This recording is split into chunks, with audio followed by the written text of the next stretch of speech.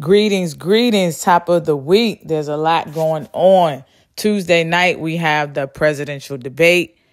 Wednesday, before market open, we have the core CPI report. And then Thursday, before market open as well, we have the core PPI report and bond auction. So let's go ahead and get into it.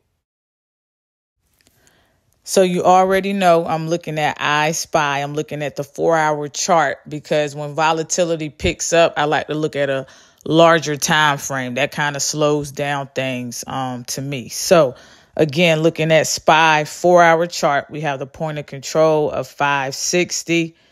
We have a gap, okay, a gap heading um, on the upside between 544 and 548.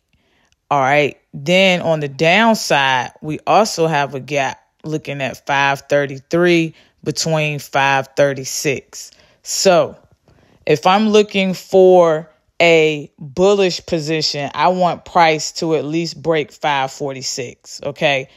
Price action, if I think is heading up, I want it to break 546. Now, if I'm looking for a bearish position, okay, meaning I want price action to go down, I'm going to need price to break 543. So let's see what we got.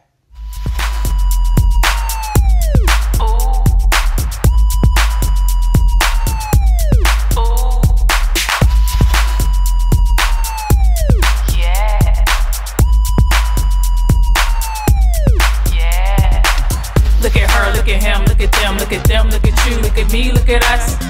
Look at her, look at him, look at them, look at them, look at you, look at me, look at us. Look at her, look at him, look at them, look at them, look at you, look at me, look at us. Look at her, look at him, look at them, look at them, look at you, look at me, look at us.